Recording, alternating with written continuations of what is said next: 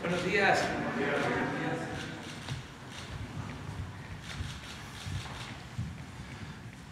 Bueno, vamos a tratar hoy viernes que finaliza la semana dos eh, temas y los que resulten a partir de el diálogo con ustedes, el diálogo de todas las mañanas, eh, libre, eh, transparente, sin censura. Eh, vamos a tratar, les decía, dos temas. Primero, quiero abordar el asunto de la exoneración del general Cienfuegos. Quiero fijar la postura del gobierno que represento. Y eh, posteriormente vamos a informar sobre el plan de vacunación, cómo ha continuado vacunándose a los trabajadores de la salud, los que están salvando vidas en los hospitales COVID, cuál es el avance que tenemos y vamos a poder eh, comunicarnos con, con algunos este, eh, estados del país. Bueno, como ustedes eh, saben, ayer la Fiscalía tomó eh, la resolución de considerar que no hay elementos para juzgar al general Cienfuegos a ver si me ponen el boletín de la Fiscalía.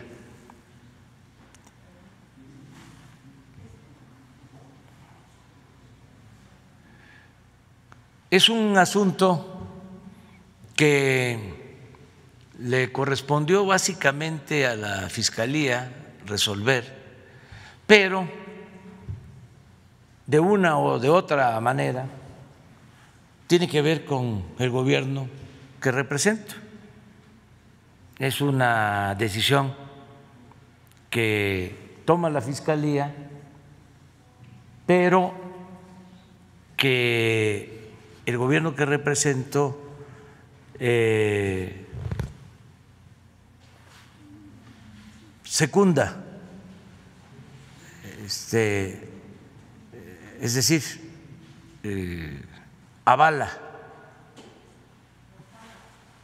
respalda, porque eh, nosotros sostenemos que debe de terminarse la impunidad,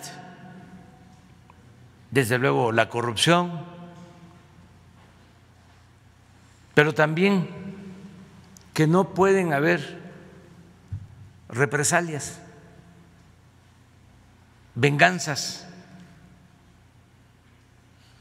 y que no se pueden inventar delitos, que nadie debe actuar de esa manera, trátese de quien se trate.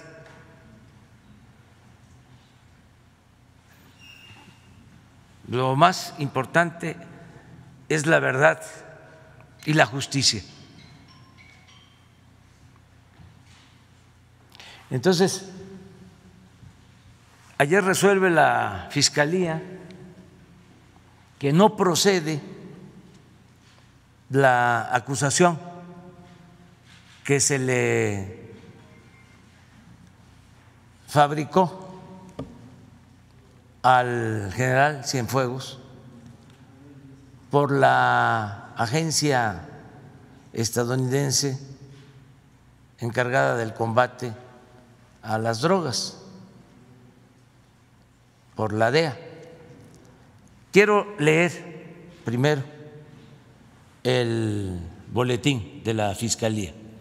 Todo esto lo hago primero para que haya toda la información, que la gente cuente con toda la información, sobre todo los mexicanos, que sepan por qué eh, la Fiscalía está actuando, cómo eh, lo ha decidido, que se tenga toda la información, no ocultar absolutamente nada.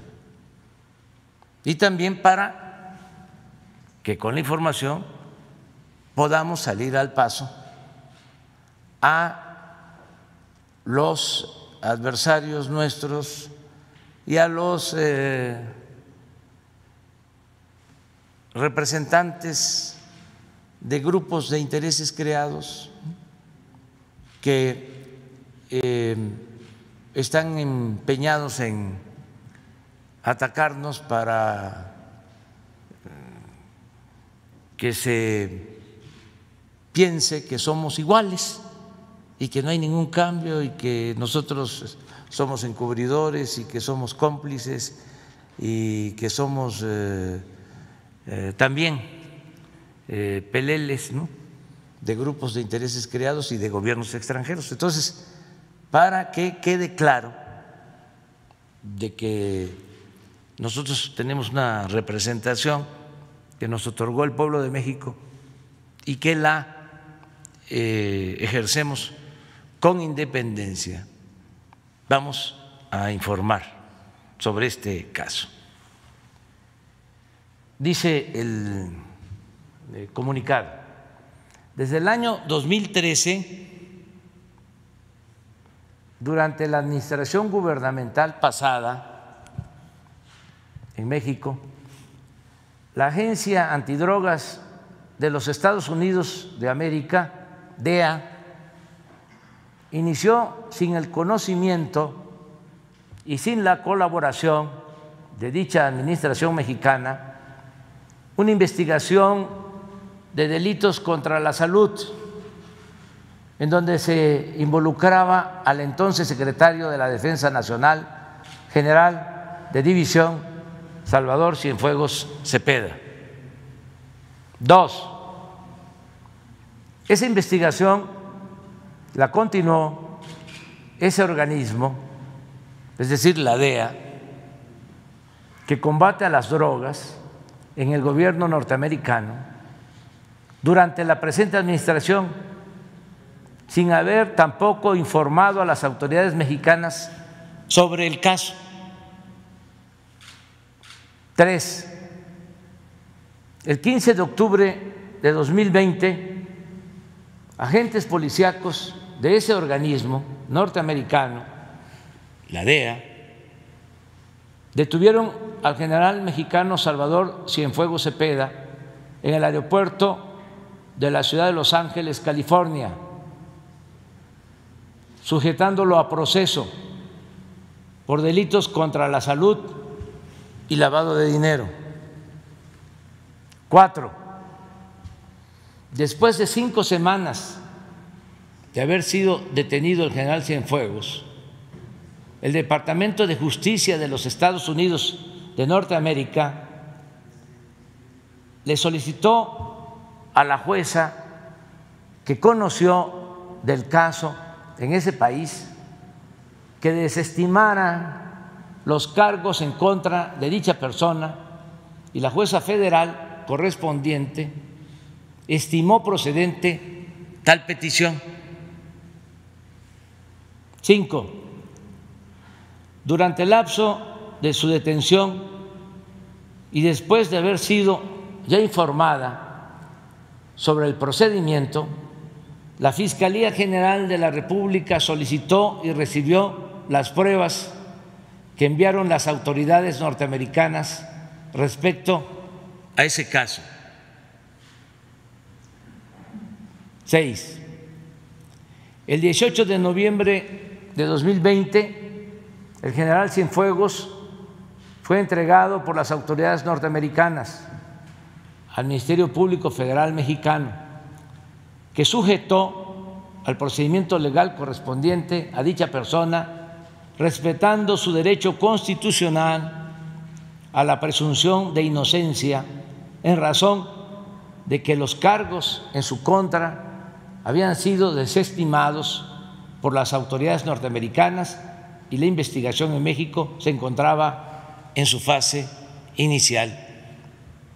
Siete, el 9 de enero de 2021, el señor general Cienfuegos reconoció las imputaciones hechas por las autoridades norteamericanas, así como las investigaciones realizadas por la Fiscalía General de la República en el caso, teniendo acceso a todo el expediente como corresponde a esa fase procesal.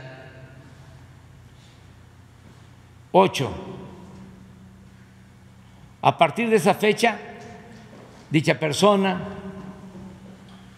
es decir, el general Cienfuegos, ha aportado sus elementos de prueba y la Fiscalía General de la República llevó a cabo todas las acciones necesarias para obtener las evidencias indispensables en este caso.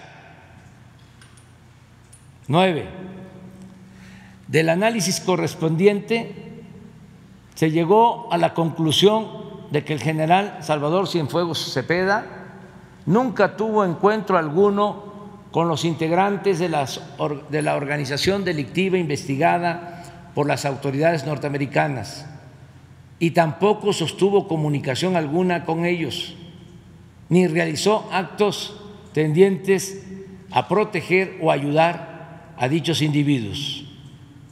Diez, tampoco se encontró prueba alguna de que hubiera utilizado ningún equipo o medio electrónico ni que hubiera emitido orden alguna para favorecer al grupo delictivo señalado en este caso.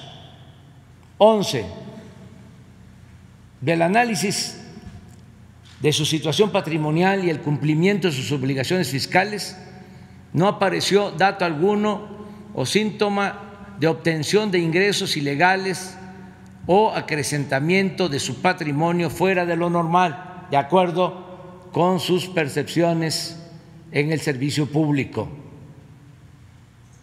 Por los motivos anteriores y con base en los razonamientos y pruebas en la carpeta correspondiente, la Fiscalía General de la República, a través de la Subprocuraduría especializada en investigaciones de delincuencia organizada, ha determinado el no ejercicio de la acción penal en favor del general Salvador Cienfuegos Cepeda. Este es el comunicado de la Fiscalía. Entonces, para despejar dudas, malos entendidos, le he pedido a Marcelo Ebrard, secretario de Relaciones Exteriores, que haga la relatoría. Desde que nos enteramos de la detención del general Cienfuegos, incluyendo la nota diplomática que enviamos al gobierno de Estados Unidos, la respuesta del gobierno de Estados Unidos, de la Fiscalía General, la información que envió la DEA y la decisión que se tomó de entregar toda esa documentación a la Fiscalía General de la República. Que Marcelo exponga. Yo solo agrego que he dado instrucciones también al secretario de Relaciones Exteriores que hoy mismo, lo más pronto posible, se ponga a disposición del pueblo de México todo el expediente que nos envió del gobierno de Estados Unidos, completo, para que pueda ser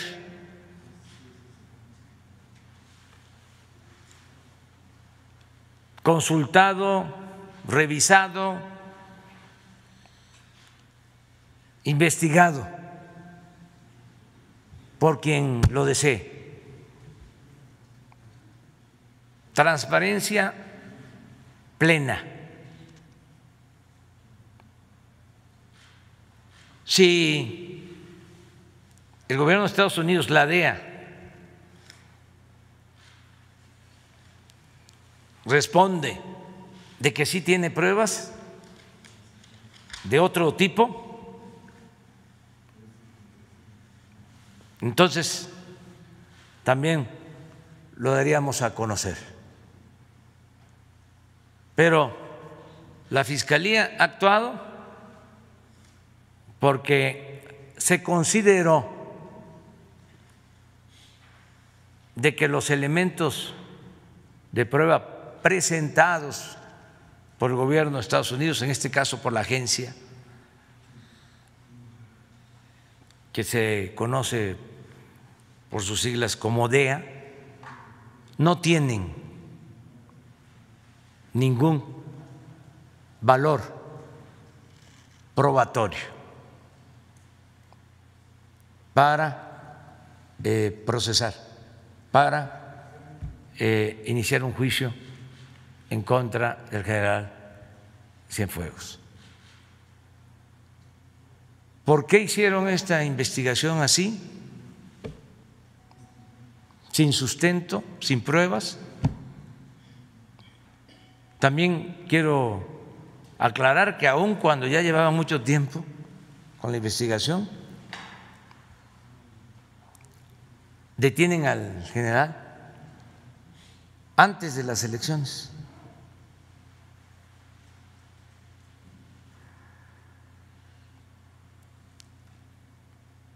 Y ya el general Cienfuegos, de acuerdo a la información que tenemos, ya había estado en Estados Unidos en marzo.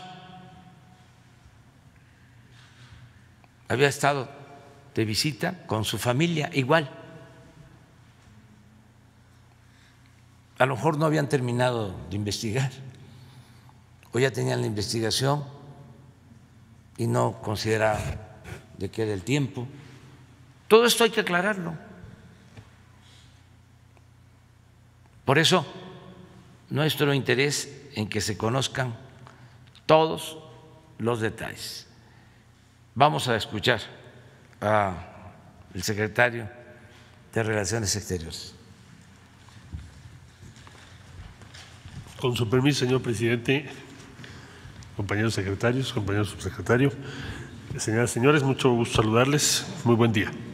Bueno, referirme a lo que me ha solicitado el señor presidente. Como ustedes saben, fuimos informados de la detención de General Cienfuegos, esto ya lo relaté en ocasión anterior. Eh, el primer tramo de la actuación del Estado mexicano por conducto de esta Secretaría que encabezo, y en particular del Consulado en Los Ángeles y los consulados en Estados Unidos, fue asegurarnos de que el general Cienfuegos, como cualquier ciudadano mexicano, tuviese la representación legal y el debido proceso. Debido proceso. Costó trabajo y muchas horas, cosa inusual desde que se efectuó su detención, lo hizo notar así la cónsul en Los Ángeles, Marcela Celorio. Pero finalmente pudimos garantizar en ese primer tramo esto. Pedí una llamada con el fiscal general de los Estados Unidos. Tuve una reunión con el embajador de los Estados Unidos en México. Se envió nota diplomática, en síntesis, en esencia, para decir, manifestamos nuestra inconformidad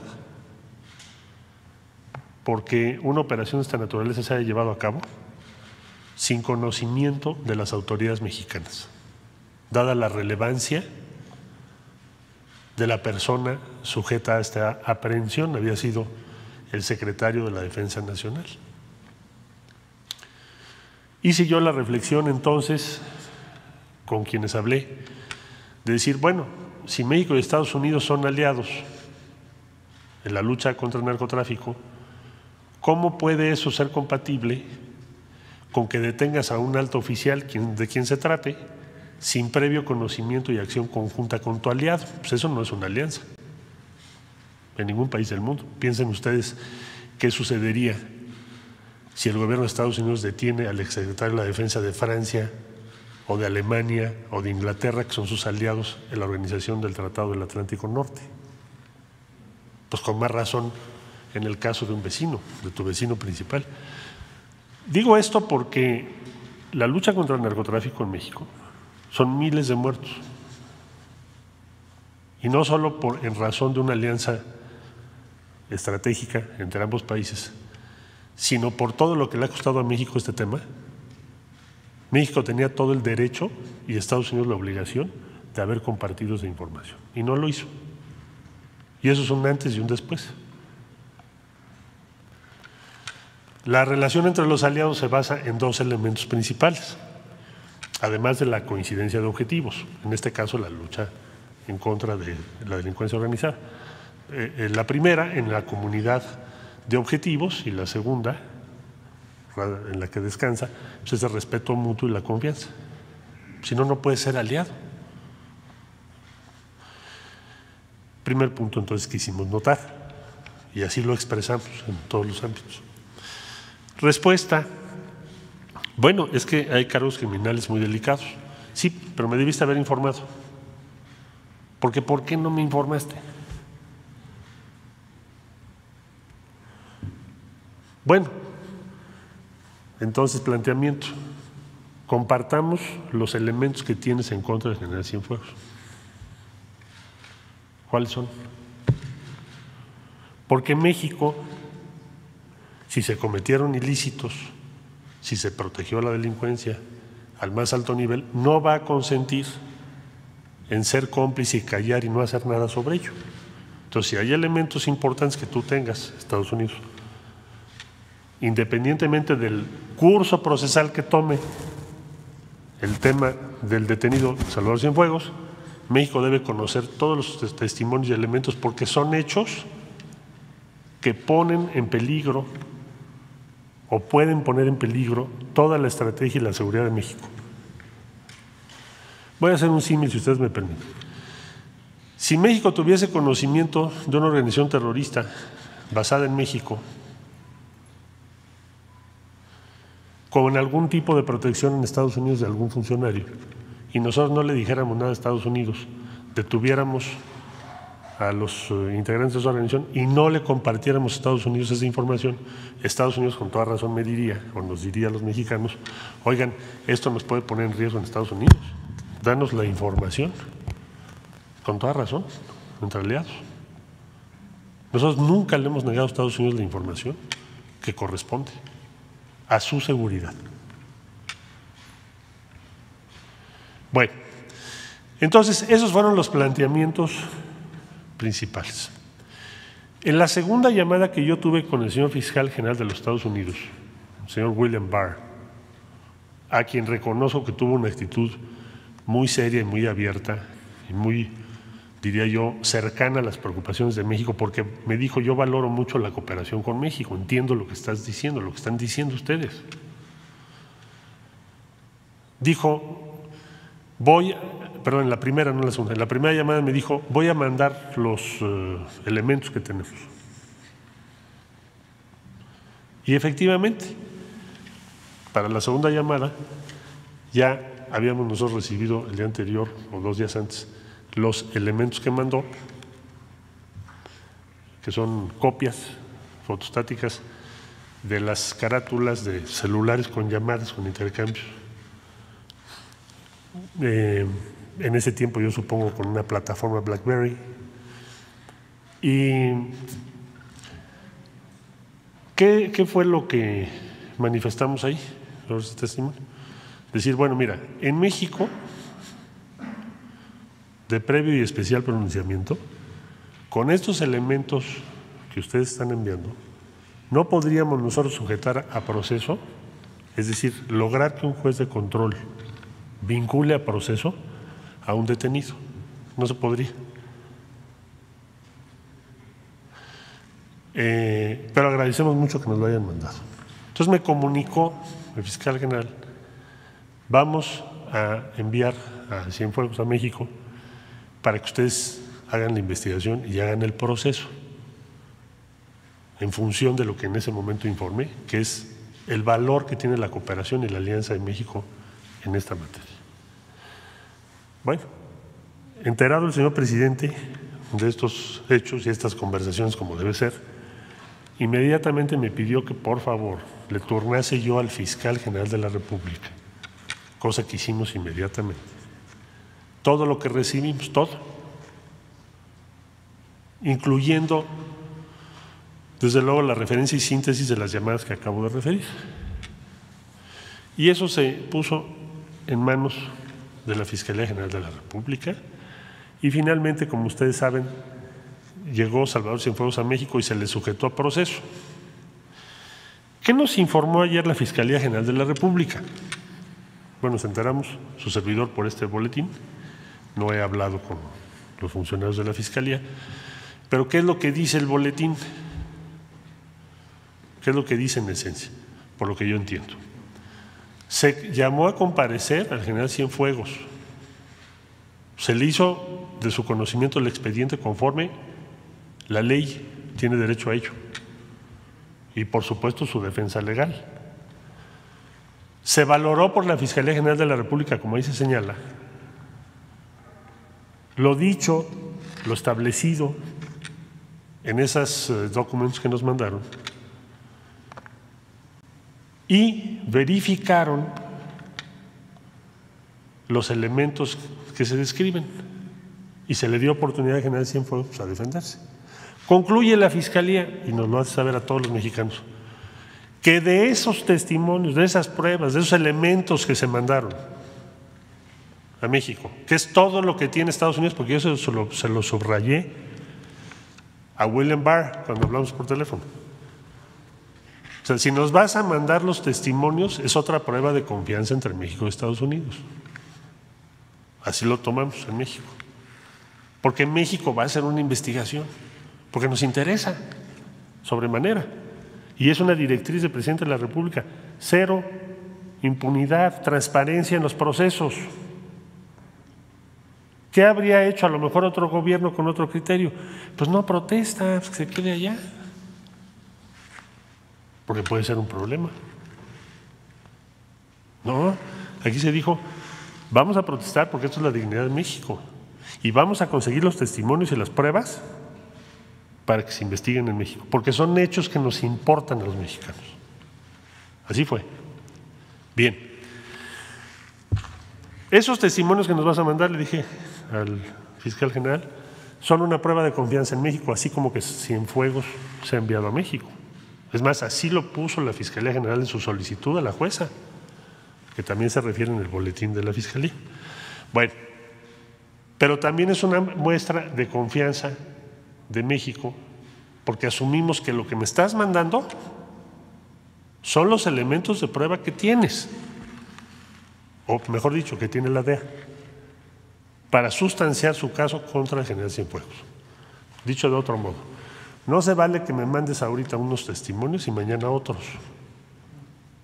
No se vale que de la agencia después alguien diga que esos no eran, sino que había otra llamada, porque entonces otra vez problema de confianza. Y yo diría muy serio. Bueno, en esta tribuna dije yo, para México sería impensable, dije, suicida, no hacer nada. Pero ojo, lo que hizo la Fiscalía es citar a comparecer a Cienfuegos. Lo que nos informa la Fiscalía es que de los elementos que proporcionó el fiscal general de los Estados Unidos, confrontados con la defensa de Cienfuegos, investigados por el Ministerio Público, no hay elementos para sustanciar la causa en contra del general. Es lo que dice. No es que no se haya hecho nada, sí se hizo. Ah, para tener credibilidad tiene que haber una condena. No, ¿qué dijo el presidente? ¿Qué dijo el fiscal general? Desde luego. Vamos a investigar los elementos que nos mandaron y vamos a llegar a una conclusión, la que sea. Entonces, Fiscalía General de la República informa al Gobierno de la República y al pueblo de México que la conclusión de lo que hizo sus investigaciones, los elementos que proporcionó la defensa, pero sobre todo lo que proporcionó Estados Unidos. No hay manera de vincular a proceso al general Cienfuegos. Es más, en México ni siquiera lo habrían podido detener. ¿Te acuerdas la ley vigente? Entonces, esta es la conclusión a la que se llega. Vamos a hacer del conocimiento, por supuesto, en su momento, de las autoridades de Estados Unidos también. Seguramente ya será con el nuevo gobierno estos elementos y estas conclusiones. Entonces, sí se hizo el proceso de investigación. Ahora, ¿ya concluyó? No, no es lo que dice la Fiscalía. La Fiscalía se refiere a General Cienfuegos. ¿Qué, ¿Qué, se deriva de este boletín? Pues hay otros elementos importantes que se deben de investigar. Eso sí. Hay elementos que se deben investigar.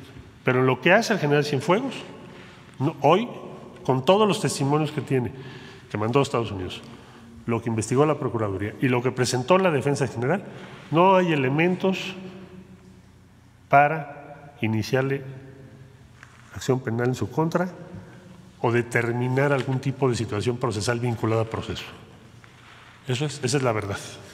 Me pide el señor presidente que demos a conocer el expediente en el transcurso de las próximas horas y así lo haremos. Nunca se ha hecho. ¿Por qué? Pues porque todo era escondidas.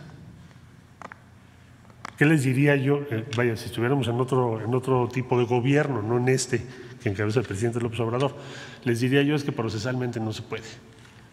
Y entonces mañana filtramos una cosita y pasado otra y luego decimos que sí y luego decimos que no. No. ¿Qué nos está pidiendo el presidente? Todo el expediente que recibimos completitito, lo vamos a dar a conocer en las próximas horas. ¿Eso qué gobierno lo hace? Pues un gobierno que está seguro de lo que está haciendo, un gobierno íntegro, si no, pues no sería. Y esa integridad que le va a dar a México, respeto. Imagínense ustedes que hubiéramos guardado silencio a sabiendas de que no hay elementos. Entonces, no, se actuó con integridad, con dignidad, esa ha sido la posición del presidente, y todos y todas y todos los mexicanos van a tener acceso a lo que recibimos. Muchas gracias, señor presidente. Bueno, nada más para cerrar este tema en cuanto a nuestras exposiciones, decir que en este proceso, eh, aun cuando no se informó al gobierno de acuerdo a lo que correspondía,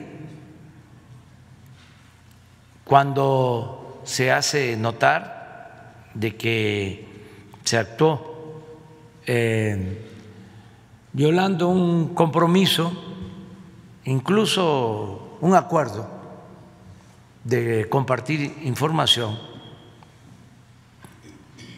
porque en cualquier acto de cooperación tiene que haber confianza de las partes.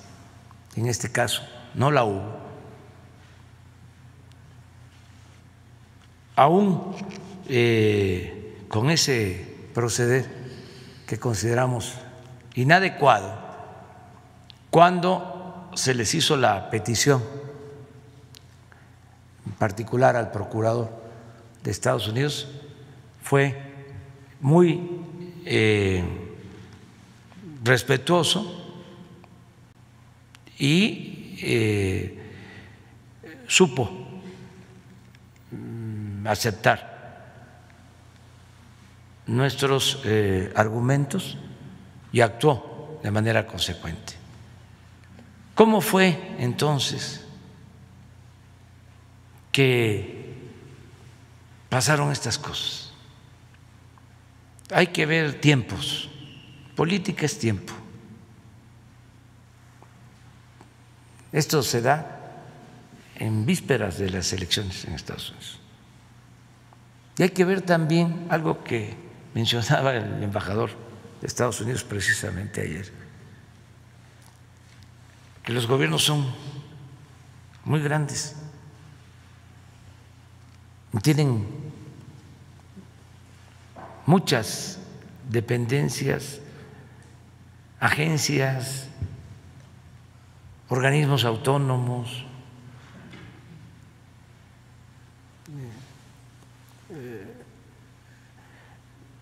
La independencia, la autonomía de los poderes eh, legislativos, del poder judicial, tanto en México como en Estados Unidos. Entonces, eh, se actuó este, sin tomar en consideración que había eh, un acuerdo y se este, intentó consciente o inconscientemente de afectar la relación entre los gobiernos. Afortunadamente se corrigió eh, el procedimiento, se repuso el procedimiento y este es el resultado. Entonces, como es un asunto muy, muy trascendente y delicado, porque nosotros no podemos dejar en entredicho al gobierno de la República ni a sus instituciones. Entonces, por eso es que tomamos la decisión de dar a conocer todo el expediente, completo.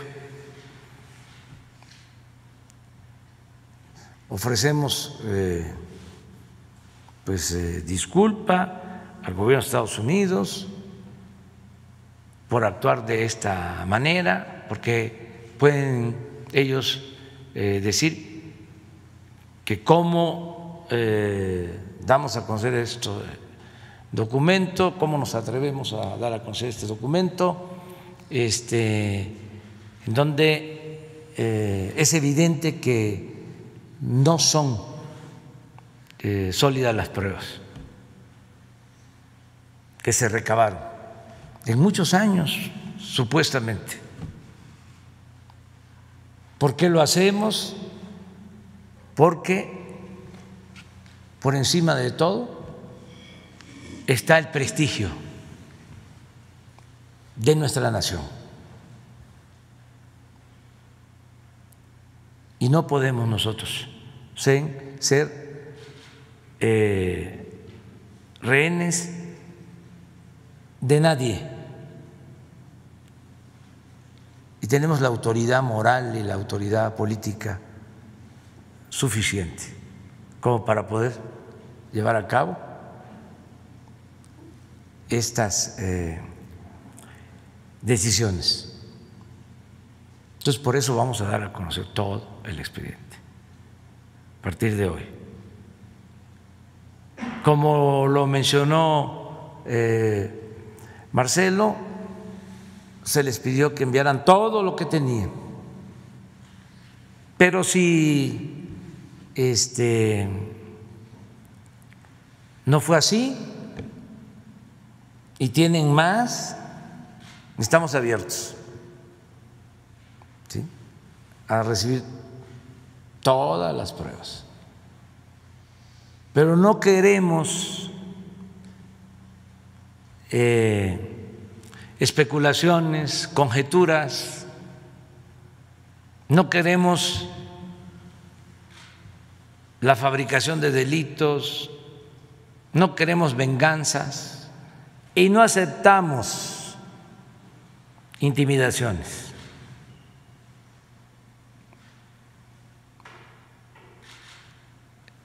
Somos un país libre, independiente, soberano agradecer mucho a las autoridades de Estados Unidos por su decisión de reponer el procedimiento de lo que consideramos nosotros fue un error, de enmendarlo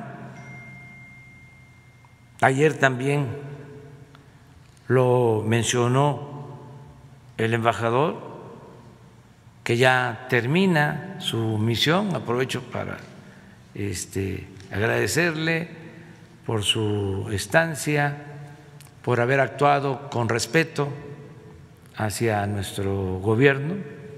Ayer decía de que en el caso del general Cienfuegos se había entregado toda la información y se había actuado sin condiciones. Eso se lo agradecemos al gobierno del presidente Trump, al embajador de Estados Unidos en México, que le deseamos que le vaya muy bien, y al procurador de Estados Unidos, inclusive al director interino de la DEA, que como van a ver ustedes en el expediente, envió la información que les eh, correspondía.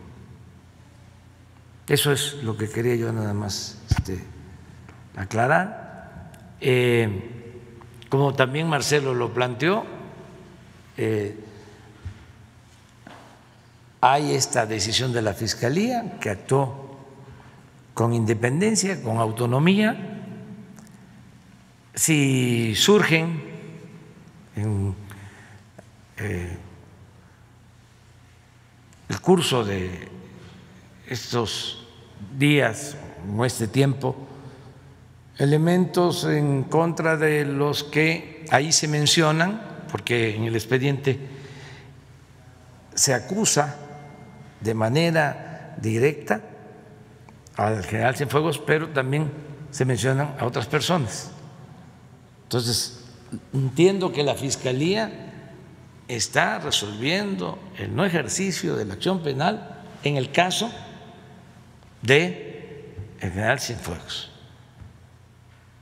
El expediente queda ahí, abierto, para que si existen elementos y pruebas, se castigue a los eh, verdaderos responsables, si existen responsables en este caso en particular. Eso es lo que queríamos este, informarles. Y ahora sí, antes de pasar a las preguntas y a las respuestas, vamos al plan de vacunación. A ver, ¿dónde estamos? Sonora. Sonora. Les escuchamos. Les escuchamos. Buenos días, mi nombre es Carolina Vargas y soy servidora de la Nación, integrante de la Brigada Correcamino del Hospital General número 14 en Hermosillo, Sonora. En este momento nos encontramos en el tercer día de vacunación. A nombre de todos mis compañeros, queremos expresarle que nos encontramos muy emocionados de formar parte de este momento histórico, donde se refleja el esfuerzo de todos los mexicanos por hacer frente a esta pandemia. En este lugar se encuentran compañeros de médicos y enfermeras aplicando las vacunas a los, a los este, que se encuentran haciendo frente al COVID-19. Este señor presidente, por todos los sonorenses, queremos decirle muchas gracias. Le cedo la palabra al director de este hospital. Buenos días, señor presidente. Soy el doctor Filiberto Jorge Mendoza, director del hospital, eh, uno de los 32 hospitales de la ciudad en la que atendemos pacientes con COVID-19. Eh, el día de hoy nos encontramos en la tercera y última jornada de esta primera fase de vacunación, en la primera correcamina, en la que estamos vacunando a personal de salud de la primera línea de atención frente a esta enfermedad. Eh, nuestro hospital recibió 1.375 dosis, de las cuales hemos aplicado hasta el momento 1.069 dosis, eh, con una base del 77%. Eh, hasta el momento no se ha presentado ninguna eventualidad, ninguna incidencia, todo se ha desarrollado eh, en orden. Nuestro personal se encuentra profundamente agradecido por la llegada de, esta vacuna, por la aplicación de esta vacuna. A continuación cedo la palabra al doctor Edgar Jesús Citle García, titular de la representación del INSS en Sonora y coordinador federal de la Fundación contra COVID-19 en nuestro estado. Buenos días, señor presidente. Pues informándole que el pasado martes en Sonora recibimos 14.625 dosis, de las cuales al término de la segunda jornada, que fue el día de ayer, ya habíamos aplicado eh, 10.360, lo cual representa el 71% de las mismas. Eh, estas fueron recibidas y con un despliegue impresionante que se llevó a cabo por parte de nuestras Fuerzas Armadas el día martes por la por la noche, en las primeras horas del miércoles, ya estaban entregadas estas vacunas a lo largo y ancho de este, del segundo estado más grande de la República. El día miércoles empezamos con esta jornada desde las 6 de la mañana y el día de hoy estamos pensando terminar. Y yo me vamos a agradecer la confianza del maestro Zoe y manifestarle a usted el que estamos listos para continuar con este esfuerzo federal sin precedentes que se ha llevado a cabo. Muchísimas gracias, señor presidente. Muchas gracias. Eh, Muchas gracias. felicidades a todos los que trabajan en el hospital de Hermosillo, Sonora.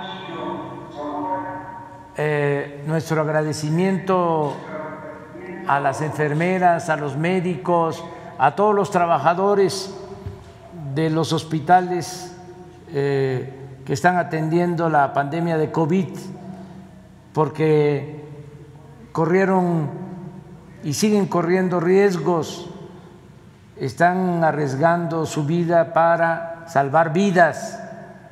Es un acto de humanismo sublime, extraordinario. Muchas gracias de todo corazón eh, a todas, a todos los trabajadores del sector salud que están ayudando para enfrentar esta pandemia. Eh, vamos a continuar eh, vacunando. Qué bien que se va avanzando en la aplicación de esta dosis. Hay que procurar terminar hoy. Esto aplica para todo el país, en donde están las brigadas correcaminos aplicando, poniendo la, vacuna.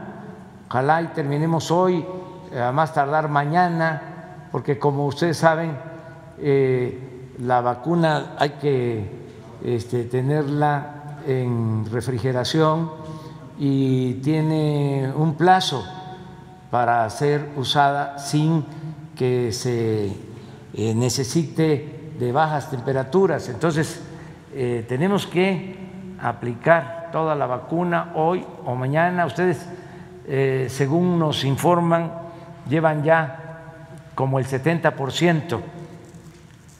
Así es, ¿verdad? Correcto, Así es, ¿verdad? Entonces, hay que terminar. Eh, y un saludo a toda la gente de, de Sonora, también un saludo a la gobernadora de Claudia Pavlovich, gobernadora de Sonora, y a todos los servidores públicos. Eh, muchas gracias, muchas gracias. Muchas gracias.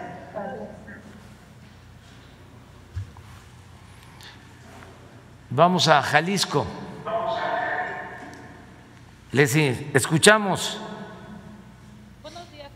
Presidente. Mi nombre es Aurora Salazar Valle, terminadora de la actualmente designada como coordinadora de la brigada por los en el Hospital Nacional Dr. Valentín Gómez En el estado de Jalisco se recibieron 24.325 dosis de la vacuna Pfizer, de las cuales hasta el día de hoy se han aplicado 15.430, lo que representa un avance del 63.3%. Quedan pendientes por aplicar 8.957 dosis. El proceso de vacunación se inició el día 13 de enero de 2021 al personal profesional de la salud de primera línea. A continuación presentamos el procedimiento que se lleva a cabo en contra con efecto la señorita Brenda Lorena Ramos, asegurada del servicio hospital. Hola, señor presidente. Buenos días. Quiero agradecerle por todo lo que hace por la población y por nosotros que somos el país. Me siento muy agradecida por volver a esta vacuna. Me gustaría darle una invitación a la población para que también se vacunen, que sigan sus medidas preventivas, distancia, el cubrebocas. Sé que todos queremos ya volver a la normalidad, debemos abrazarnos, regresar a nuestro trabajo como lo que antes conocíamos. Es por eso que les hago esta invitación para cuando salgan las vacunas no tengan miedo. Es una vacuna 100% efectiva y se han seguido todos los protocolos para que realmente no cause ningún daño a la población. Gracias.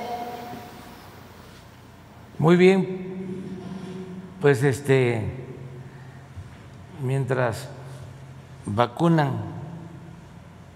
a la compañera enfermera, servidora pública, este, informamos que terminando de vacunar a todos los que están salvando vidas en los hospitales COVID, terminando de vacunarles a ustedes, eh, médicos, enfermeras, trabajadores de la salud. Vamos a iniciar la vacunación con los adultos mayores. Eso va a iniciar a finales de este mes.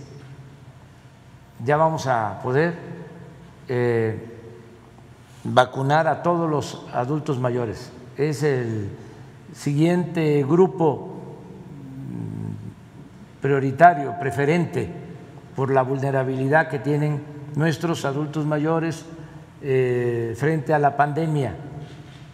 Los médicos, los especialistas nos han dicho que si vacunamos a todos los adultos mayores de 60 años en el país, vamos a poder reducir la mortalidad, el fallecimiento por COVID hasta en un 80%. Por eso, eh, ese es el segundo grupo que se va a atender. Eh, y eh, todos tenemos que actuar con responsabilidad y esperar a que nos toque. La vacuna es un derecho y se va a aplicar de manera universal, es decir, a todas y a todos, y es gratuita, pero tenemos que eh, llevar a cabo un programa para que no haya desorden, que no haya influyentismo. Eh, ya ven, eh, hay la mala costumbre de abusar, de que el que tiene influencias, o el que no tiene vergüenza se aprovecha. Este, entonces, tenemos que evitar eso, que sean los que eh, están contemplados en el programa de vacunación nacional y eh, apurarnos, no demorarnos, para que así nos toque a todos lo más pronto posible. Afortunadamente, eh, de nuevo hago un reconocimiento a la farmacéutica Pfizer, que está cumpliendo con el contrato, porque está abasteciendo a todos los países del mundo esa farmacéutica. Esta vacuna que se está aplicando en nuestro país también se está aplicando en Europa y se está aplicando en Estados Unidos y en Canadá. Eh, es la vacuna que más se está aplicando actualmente. Ya van a, aplicarse otras, eh, pero quienes inician eh, son los laboratorios es esta farmacéutica Pfizer y está cumpliendo con los compromisos. Eso se lo agradecemos mucho. Ya tenemos eh, también el pedido para que el martes próximo van a llegar alrededor de 430 mil dosis más y continuamos, continuamos con el plan de vacunación. Un saludo también al ciudadano gobernador de Jalisco, eh, al gobernador Enrique Alfaro y a todos los trabajadores al servicio del pueblo, al servicio del Estado y de la nación. Adiós, adiós.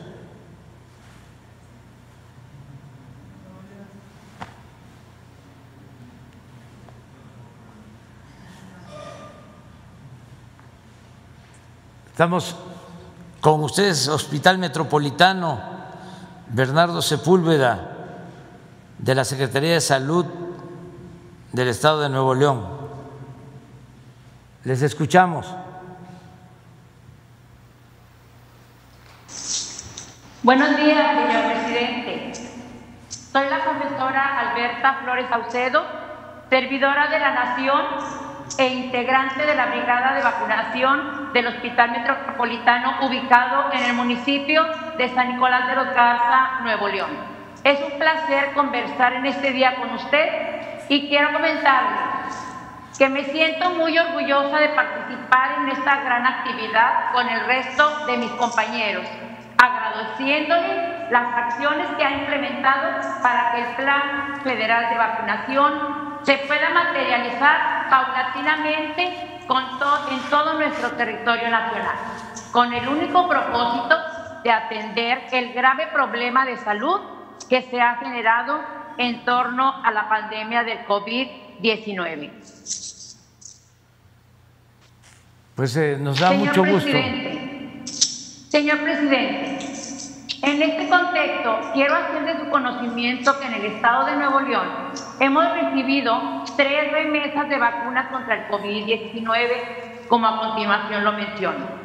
El 28 de diciembre del 2020 recibimos 1.952. El 5 de enero del 2021 recibimos 4.875 dosis más y la última remesa de 9.750 dosis la recibimos el 12 de enero del 2021.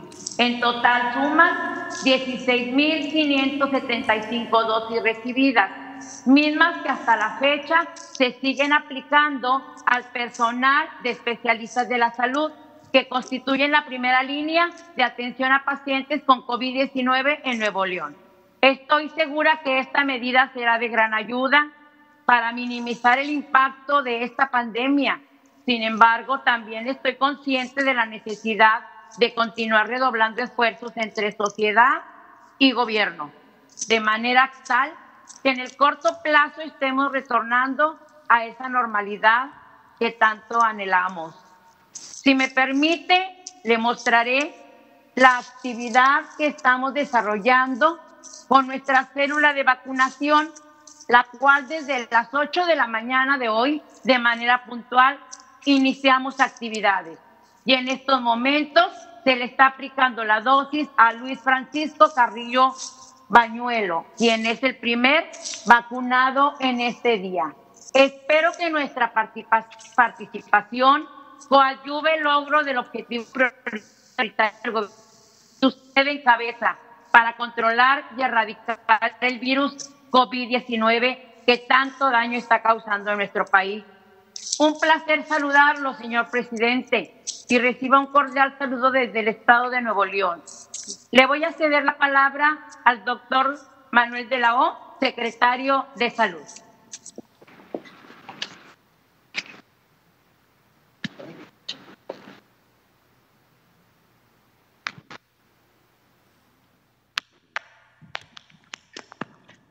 Muy buenos días, señor presidente. Saludamos desde el Estado de Nuevo León. Reciba un cordial saludo de nuestro gobernador, el ingeniero Jaime Rodríguez Calderón. Hoy nos encontramos en el Hospital Metropolitano, el hospital más grande de los servicios de salud en Nuevo León. que tiene una capacidad de 270 para atender a 270 pacientes con COVID. Es sin duda uno de los hospitales más grandes del país para atender estos pacientes. Hoy tenemos 300 pacientes internados, más de la capacidad que tiene este hospital. Y ayer recibí una llamada de la delegada que tiene, delegada del IMSS, que tiene un 94% de ocupación. Nuevo León estamos con una alza en los contagios, en las hospitalizaciones. Nos urgen, nos urgen para poder contener esta pandemia. Gracias por tomar en cuenta también al sector privado. Eso nos beneficia enormemente. También los médicos de farmacias, los médicos de colonia los hemos capacitado y ellos también deben de recibir las vacunas porque también hemos perdido algunos compañeros. El pueblo de Nuevo León se lo agradece y hoy en este hospital, que cuando iniciamos la administración estaba completamente deteriorado, es un hospital que da una atención con calidad, con calidez, que tiene una una tasa de letalidad de las menores del país y se atienden a los pacientes con calidad, con calidez y sobre todo con gratuidad, como lo ha declarado usted. Muchas gracias por el apoyo. Ayer tuve una conversación con el doctor López Gatel y la gente de la Secretaría de Salud Federal. Solicité insumos, medicamentos relajantes, sedantes, recurso humano que necesitamos y obviamente más vacunas para poder disminuir el número de contagios. Muchas gracias por su apoyo, presidente. Muchas gracias, doctor. Em, estamos eh, reuniéndonos prácticamente todos los días para eh, ampliar eh, el número de camas en hospitales COVID, sobre todo en estados como Nuevo León, eh, Puebla, la Ciudad de México, el Estado de México, en donde hay un repunte, eh, donde hay un incremento de casos y hay más hospitalizados en general y hospitalizados que requieren de eh, ventiladores, que requieren de terapia este, intensiva estamos trabajando en eso, en ampliar la infraestructura para que no se nos saturen los hospitales y que eh, todos los enfermos puedan ser atendidos. Eh, ya el director del Seguro Social me informó de que en el caso de Nuevo León están buscando la manera de ayudarles para que se amplíe el número de camas lo vamos a seguir haciendo, es un compromiso, no están solos ustedes. Y también eh, comentar de que tenemos acuerdos con el sector privado, eh, los hospitales privados, para que también nos sigan ayudando, nos sigan respaldando. Eh, ya también puedo informarle que se adquirieron medicinas que se utilizan para atender enfermos COVID. Eh, ya eh, tenemos eh, estas medicinas que se adquirieron en el extranjero y seguramente ya van a llegarles para que no les falte el abasto de estos medicamentos que tienen que ver fundamentalmente con anestesias para atender a enfermos graves. Entonces, Vamos a seguir, doctor, eh, apoyándoles eh, a todos los eh, hospitales de Nuevo León, sector público, sector privado. También por eso se decidió que la vacunación se aplique a médicos del sector público y del sector privado que están atendiendo COVID y terminando de vacunarlos a todos, a las enfermeras, a los médicos, a los trabajadores del sector salud, de hospitales COVID, repito, del sector público y del sector privado, empezamos la vacunación con adultos mayores. Estamos este, muy pendientes y un saludo al ciudadano gobernador de Nuevo León, a Jaime eh, Rodríguez eh, Calderón un saludo y muchas gracias. Eh, podemos, podemos tener diferencias en algunas cosas, pero cuando se trata de la salud del pueblo, de la seguridad del pueblo, tenemos que trabajar o seguir trabajando juntos, unidos. Muchas gracias, doctor. Al contrario, muchas gracias, presidente. Vamos a Oaxaca, Hospital de la Mujer. Buenos días, señor presidente. Reciba un cordial saludo a los servidores de la Nación del Estado de Oaxaca. Mi nombre es Andrés Ibáñez García, integrante de la Brigada Correcaminos, está instalada en el Hospital General de la Mujer y el Niño oaxaqueño. Por parte de los servidores de la Nación del Estado de Oaxaca, está el compromiso para seguir con estas jornadas de vacunación y, como usted lo ha indicado, que se vacunen a, todos los personal, a todo el personal de salud de la primera línea que está en defensa contra el COVID-19.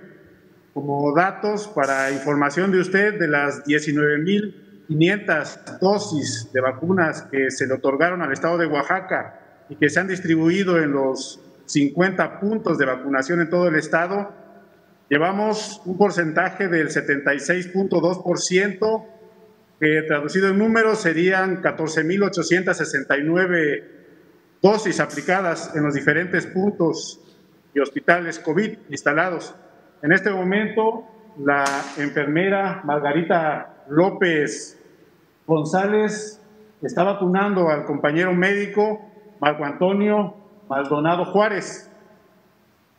Por parte de los compañeros servidores de la Nación que estamos integrando esta brigada Correcaminos, nos llena realmente de satisfacción el hecho de poder contribuir día a día, hoy en el día 3 de esta jornada de vacunación, en contra de esta lucha, contra esta epidemia que estamos cursando. Realmente es complicado, pero nosotros nos comprometimos con el gobierno de México, con usted, con el pueblo, y la satisfacción que nos da es realmente grande. Este, le invito al compañero médico para que nos pueda pues dar la impresión acerca de la vacuna que se le está otorgando a ellos en esta ocasión. Buenos días, señor presidente.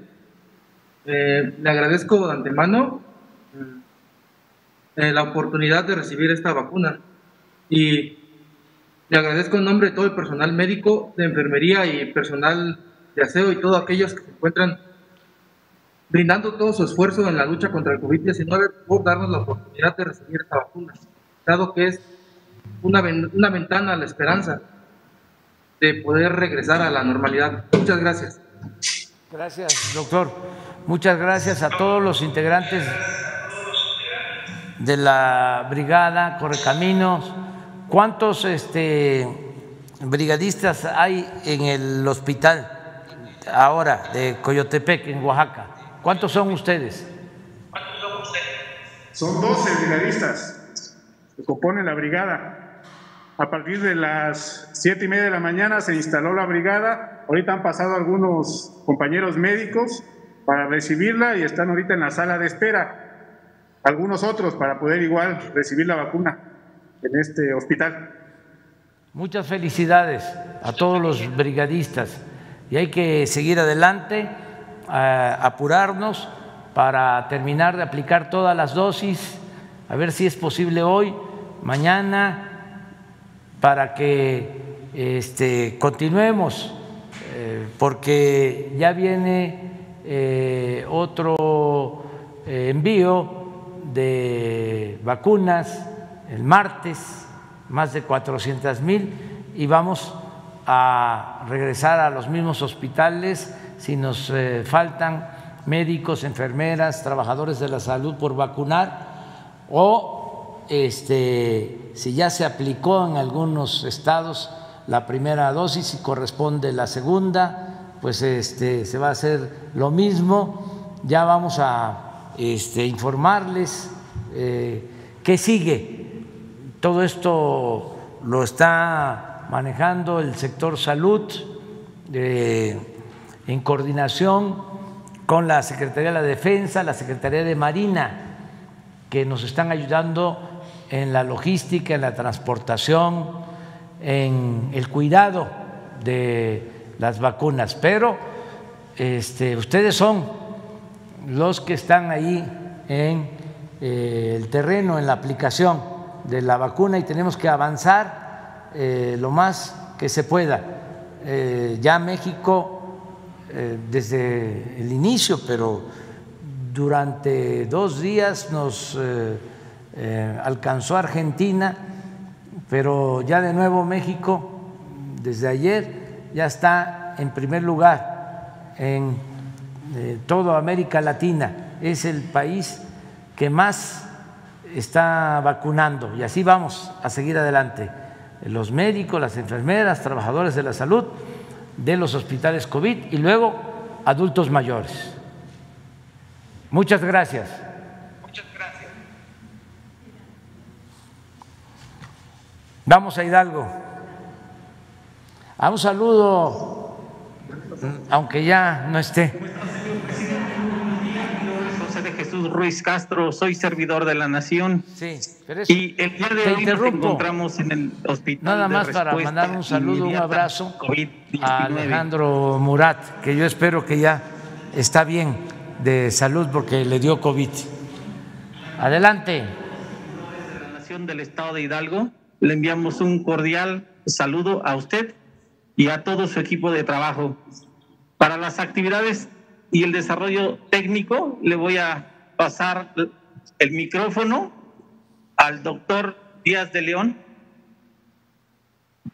Señor presidente, un saludo de todo el pueblo de Hidalgo. Soy el doctor Francisco Díaz de León, director del Hospital de Respuesta Inmediata, una unidad insignia en todo el país y en Latinoamérica que se instaló bajo la visión responsable del señor gobernador Omar Fayad y la administración de nuestro secretario de Salud, Alejandro Benítez, para responder oportunamente a esta grave epidemia. Contamos con 40 camas, con, la más alta tecnología, al día de hoy con 38 pacientes, actuando responsablemente en la contención de esta grave epidemia. El día de hoy eh, estamos aplicando la vacuna, llevamos 22 dosis en nuestros dos módulos instalados. A la compañera Eva, enfermera del turno vespertino, se le acaba de aplicar y seguiremos actuando. El pueblo de Hidalgo le agradece profundamente porque a través de la buena comunicación del licenciado Omar Fallar y del doctor Alejandro Benítez ha entendido que esta es una acción que tiene que ser responsable y ordenada. Y de esa manera estamos esperando que con su apoyo recibamos todas las remesas de la vacuna para que toda la población de Hidalgo sea vacunada en esta contención de esta grave epidemia.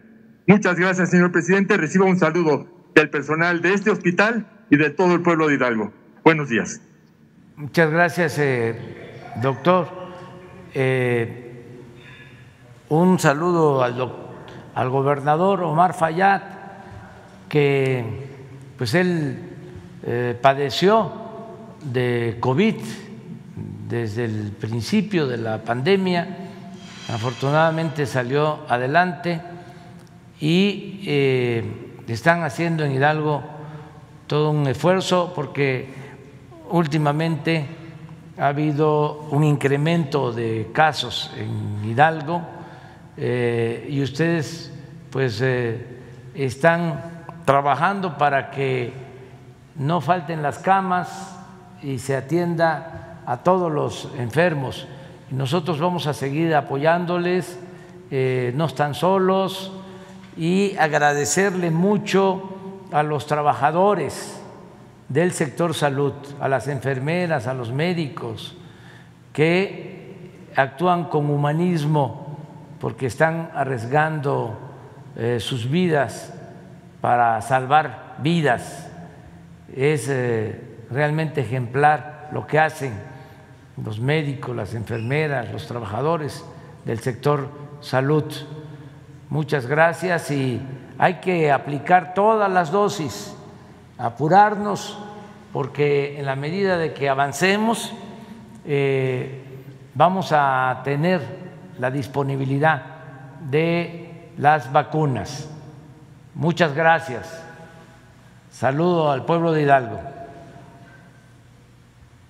Adiós, adiós. A ver, nada más cómo vamos. pues este 329 mil 983 vacunas aplicadas. 329.983.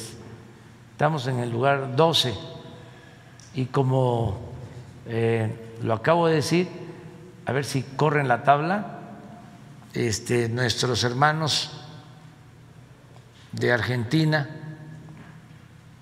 tienen 166 mil. Este, y eh, a ver, corre la más para ver si encontramos de América Latina.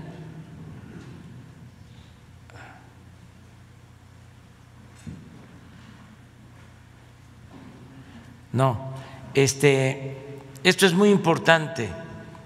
Eh, tenemos que eh, seguir insistiendo en la ONU para que todos los pueblos del mundo tengan acceso a la vacuna. Esto lo tiene que resolver la ONU, pero es este, un planteamiento que hicimos, una resolución que se aprobó porque hay eh, muchos países que no han podido eh, adquirir la vacuna. Y tenemos que pensar en nosotros, pero también pensar en los demás. Bueno, este es el informe. No sé si tengan ustedes algo que agregar. Pues no, bueno, quizá A ver, a ver.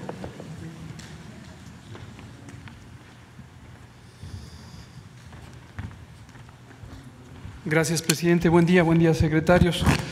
Eh, muy buen día a todas y todos. Eh, solo un par de puntos. Eh, comentábamos ayer de estas eh, más de 329 mil dosis. Como ya vimos ahorita en las demostraciones en tiempo real, la vacuna está siendo utilizada tan pronto llega. Y esto es muy importante porque uno de los factores limitantes que hay en todo el mundo es el tema de la ultracongelación y haber organizado de esta manera la logística de distribución y aplicación con la participación de toda esta red del sistema de bienestar y las brigadas Correcaminos nos ayuda precisamente a dar un uso inmediato a la vacuna. Aquí, desde luego, la participación de las Fuerzas Armadas, de la Secretaría de la Defensa Nacional, de la Secretaría de Marina, ha sido completamente central en este proceso porque no solamente la capacidad de movilización del producto, sino incluso el propio diseño logístico del operativo nos permite actuar con toda eficiencia.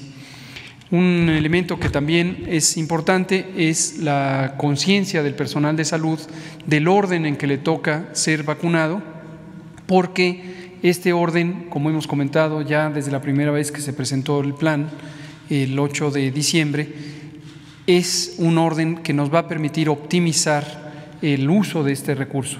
Todas y todos los colegas del Sistema Nacional de Salud, como ya acaba de comentar el presidente, como lo hemos indicado repetidamente, eh, van a ser eh, vacunados, pero esta priorización a lo que técnicamente se considera el personal de primera línea, lo que nos permite es no solamente proteger a el personal de salud, sino a el propio operativo de respuesta al eh, coronavirus.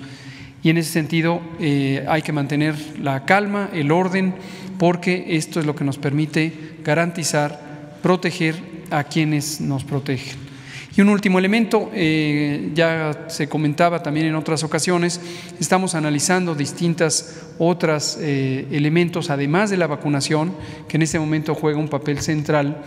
estamos continuamos explorando alternativas de tratamiento.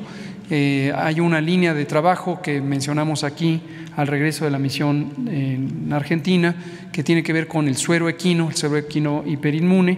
Eh, tenemos este, oportunidades con el trabajo que se hace en Argentina, pero también tenemos aquí una importante experiencia con científicos eh, mexicanos que han trabajado por muchos años en este tipo de, de sueros. Nuestra compañía nacional Birmex, es la compañía nacional de biológicos y reactivos, está trabajando ya con el Consejo Nacional de Ciencia y Tecnología, con ACIT, para explorar posibilidades inmediatas de tener un escalamiento en producción de este tipo de insumos a partir de la ciencia que se hace en México, que también es muy robusta en esta materia. Gracias. Ahora sí, vamos. Ustedes dos, en la esquina. Buenos días, señor presidente y secretario de Relaciones Exteriores. López Gatel y también eh, secretarios de la Defensa Nacional. Respecto, respecto al tema de la determinación de no ejercer la acción penal en contra del general Cienfuegos, ¿no cree que se desperdició una gran oportunidad de sancionar eh, de saciar perdón, un poco la imperosa sed de justicia que existe en nuestro país? ¿Qué mensaje le envía a todos aquellos, señor presidente, que se sienten decepcionados con lo ocurrido y que ya no saben de dónde sacar fuerzas para seguir luchando contra la impunidad y a favor de los derechos humanos?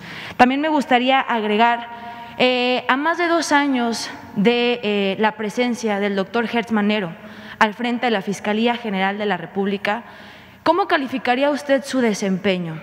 ¿Se respaldan los resultados por parte del fiscal general de la República?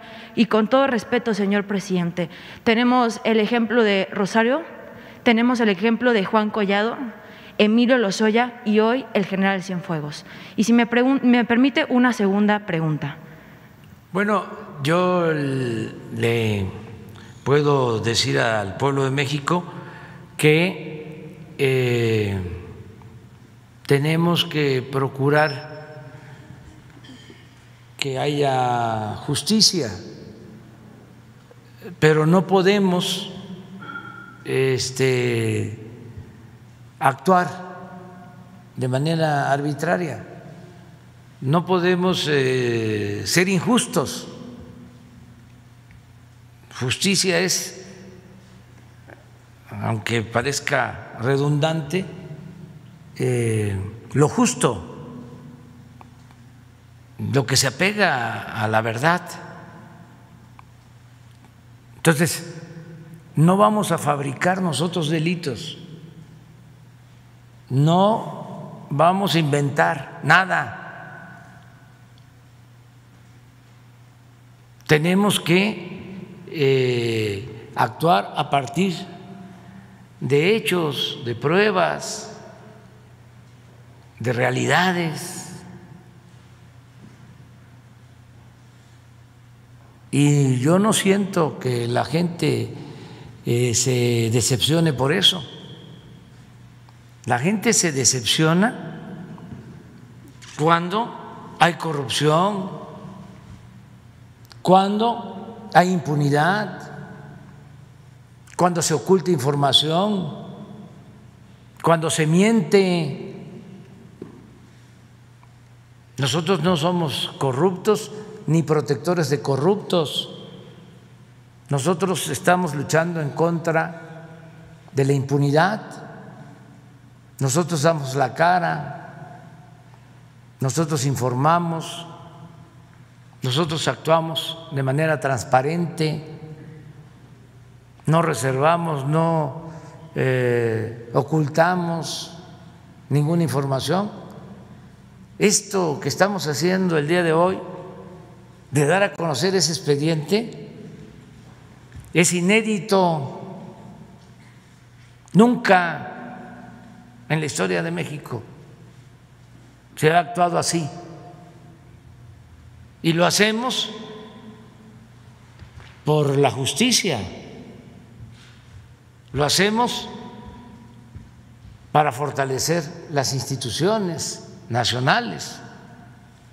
Lo hacemos por la dignidad de las personas y lo hacemos también para no dar motivo a los adversarios, a los que utilizan cualquier excusa para cuestionar la transformación que estamos llevando a cabo. Además, ya vamos este, a ser eh, objetivos. Eh, no porque se hace una investigación en el extranjero, ya, con eso nos eh, conformamos. Ya es una sentencia. Antes, como se encubría aquí, te decía, es que ya se eh, juzgó afuera y esos son los buenos jueces, impecables, esos no cometen errores, esos son rectos. Pues en este caso, con todo respeto, los que hicieron esa investigación no actuaron con profesionalismo, aunque nosotros respetamos a los gobiernos extranjeros y somos partidarios de la autodeterminación de los pueblos y de la no intervención, pero no todo lo de eh, fuera es bueno, excelente, como tampoco es malo. Tenemos que ser muy objetivos, ¿no? Eh, y eh, había también, o existe, ¿no? Esta idea, estaba yo viendo en las redes anoche, periodistas defendiendo, ¿no? Este, la investigación que se llevó a cabo en Estados Unidos o descalificando lo nuestro, lo de México, ¿no? Este, y hasta molestos, ¿no? ¿Cómo vamos a dudar de la DEA? Así a veces hasta son más simpatizantes de la DEA que de, del pueblo de México, de nuestra nación. Entonces, es justicia. Si fuésemos encubridores, mm, nos hacen triza porque saldrían hoy o mañana a decir, no es cierto, aquí está. Pero nosotros cuando decimos de que es de tal eh, manera, pues es porque tenemos elementos, no inventamos. Entonces, claro que nos podemos equivocar porque pues no somos perfectos. Eh, son este, perfectos, ya lo hemos dicho la naturaleza y el creador, pero nosotros no, ya somos seres humanos. Pero en este caso se este, cuidó completamente la investigación. Imagínense ustedes que nosotros eh, estuviésemos encubriendo y este, resulta que nos demuestran de que no estamos actuando con rectitud. ¿Dónde queda la autoridad? Entonces, que la gente tenga confianza, que siempre vamos a decir la verdad y no le vamos a fallar al pueblo. Y también yo sé pues que hay mucho interés y anhelo, deseo decir vamos a, este, a castigar a todos los corruptos, sí, existe eso, ¿no? Pero no podemos eh, inventar delitos, fabricar delitos, este, o usar chivos expiatorios como se utilizaba antes. ¿no? También la justicia no solo es castigar, ¿eh? la justicia es prevenir que ya no se vuelvan a cometer delitos. Eso también es justicia. El que este, todos nos estemos comprometiendo a actuar con rectitud, con honestidad. Eso es también justicia y es lo que estamos haciendo. Señor presidente, y como una segunda pregunta, el equipo del Charro Político, que es el canal de noticias que yo represento, y otros compañeros youtubers y activistas de Jalisco, hemos decidido desde hace tiempo salir a las calles, a las colonias, a las zonas metropolitanas, específicamente de Guadalajara, para escuchar, exponer y denunciar.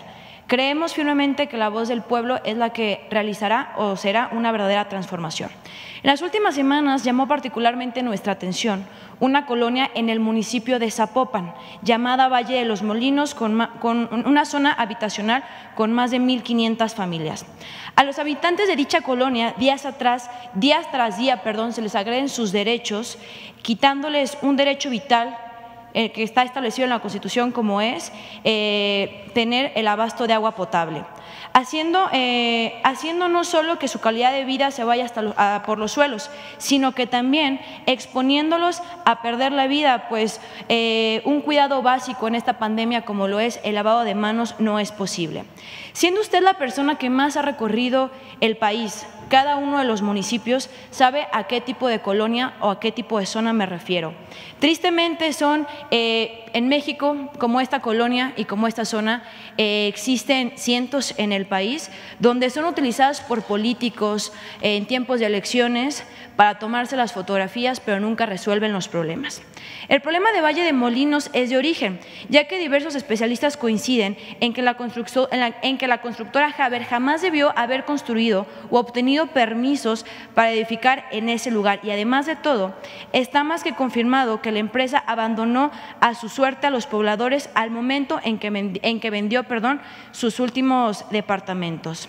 ¿Y qué decir de los eh, gobiernos emesistas, donde a sabiendas de los estudios que se han realizado no se pueden vender, no se pueden construir eh, en esa zona lo siguen haciendo. Donde también cabe mencionar que la poca agua que les llega está contaminada, lamentablemente están pagando justos por pecadores y los primeros han sido niños contaminados. Señor presidente, a nombre de los pobladores de, dicho, de dicha zona, que me gustaría poderlos mencionar a todos, pero me es imposible en estos momentos, pero que con mucho anhelo me pidieron le hiciera llegar esta problemática que el gobierno eh, municipal de Zapopan no ha querido resolver y mucho menos los, el gobierno del estado de Jalisco ni siquiera ha querido voltear. Me, permito preguntarle, ¿podría apoyarnos a pedirle a alguno de sus funcionarios que le dé atención a la problemática y que con ello por fin lograr darle una vida digna a estas más de 1.500 eh, familias en el olvido por, por la razón de no vivir en una zona FIFI del municipio de Zapopan? Es todo, sí, vamos a pedirle a Román Meyer de Desarrollo Urbano para que atienda esta petición de, de la colonia. Hay un programa que consiste en intervenir en colonias marginadas para dotarlas de servicios y este, apoyar con pavimentación, alumbrado público, introducción de agua, drenaje. Eso lo está haciendo eh, la Secretaría de Desarrollo Urbano. si no se puede para este año porque ya hay compromisos, ya se este, eh, elaboró el plan y se tiene el presupuesto y se tiene que cumplir con lo que ya se programó puede ser para el año próximo, pero que empiecen a hacer los proyectos. Entonces, ahora aquí con Leti se ponen de acuerdo. Muy bien. Sara. Gracias, presidente. Buenos días, buenos días a todos. Eh, preguntarle, presidente, si con la apertura de este expediente, que sin duda abonará para la transparencia y saber qué es lo que había en contra del general. No se prevé algún conflicto con el gobierno de Estados Unidos, dado que se trata de una investigación de ellos. Eh, si no hay hasta ahora conversaciones, si no se comunicó esta noticia con funcionarios del gobierno actual de Estados Unidos o con integrantes del equipo de Joe Biden, ¿y qué, podríamos, qué vamos a, tener? Eh, solamente pruebas documentales, si existen grabaciones, qué es lo que contiene este expediente y si también se van a incluir eh, los elementos de prueba del, del general Cienfuegos. Pues es lo que nos mandaron, todo lo que nos mandaron, este, todo el expediente. Y eh, ellos estoy seguro que van a eh, comprender que nosotros no podemos poner en entredicho a el gobierno que represento. Si nosotros este, lo que más nos importa, que estimamos más importante en nuestra vida, es la honestidad. Imagínense ser rehén del presidente de México, ¿no? De la sospecha de que estamos nosotros de cómplices o protectores, porque pues ya sabemos cómo son nuestros adversarios, ¿no? Muy este, hipócritas. Esa es su doctrina, la hipocresía. Entonces, se nos vienen encima, como lo hacen cotidianamente, pero ahora con esto, con más fuerza, desde que se dio a conocer la información de la Fiscalía, empecé a ver que ya se estaban frotando las manos.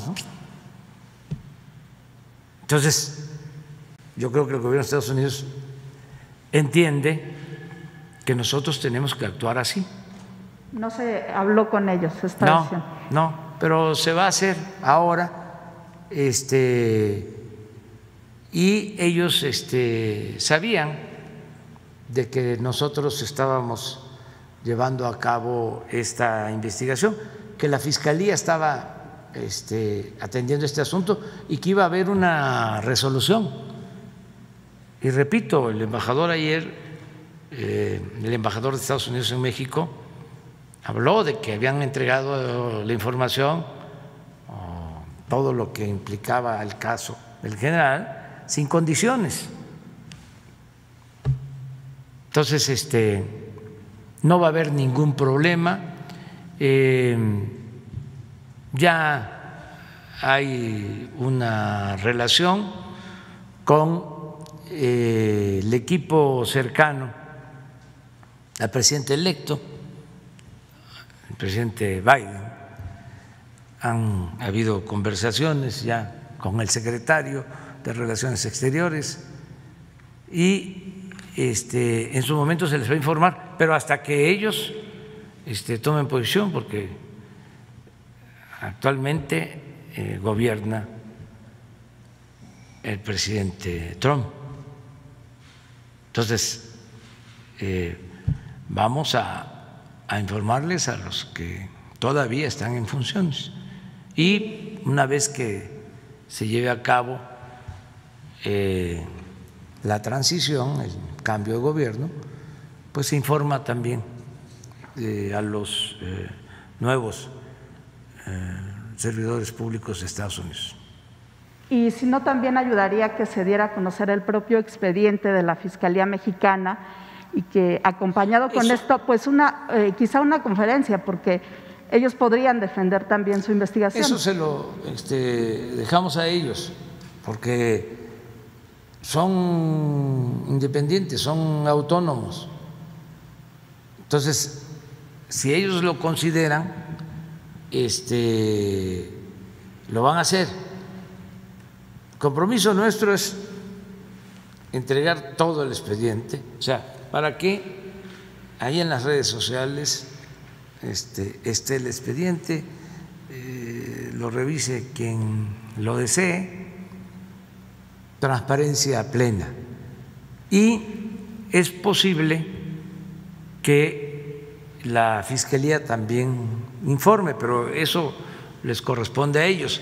Hay una cuestión que me preguntaron y que no contesté acerca de si le tengo confianza al fiscal Alejandro Gers. Así, de manera categórica, respondo, sí le tengo confianza. Sí lo considero un hombre íntegro, recto, incorruptible. Entonces me da confianza.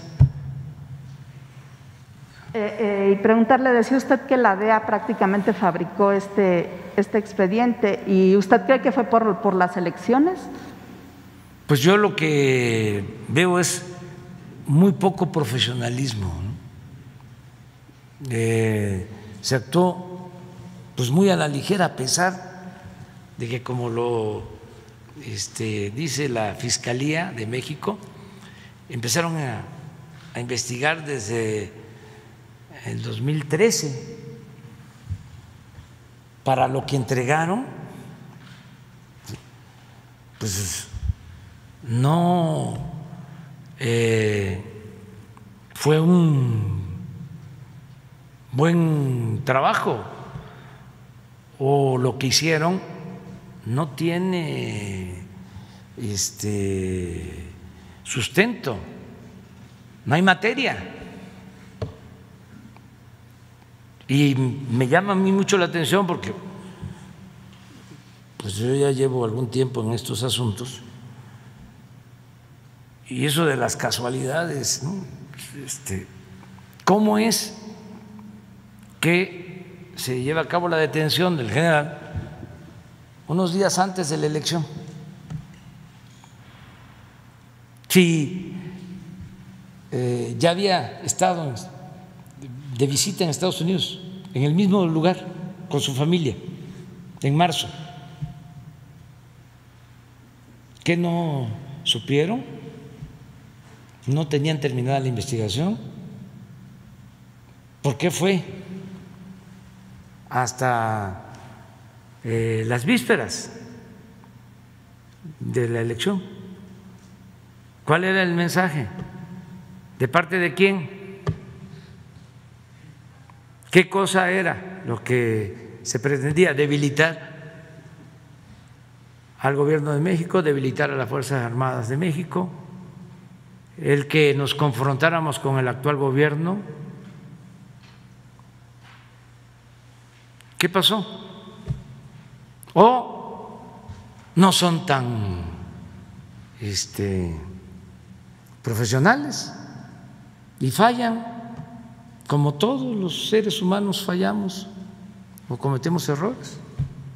Pero eso ya es cosa de dejarlo a los este, estudiosos, ¿no? Nosotros vamos a presentar todos los elementos para que eh, la gente se vaya este, con la información. Eh, se vaya dando cuenta de lo que sucedió y se vaya formando un criterio. Gracias. Y solo para el canciller, hablaba de algunos otros elementos que, que dijo van a ser investigados. ¿Por qué no se investigaron, no se, se agotó, digamos, todo esto hasta ya dar una resolución sobre el caso particular del general?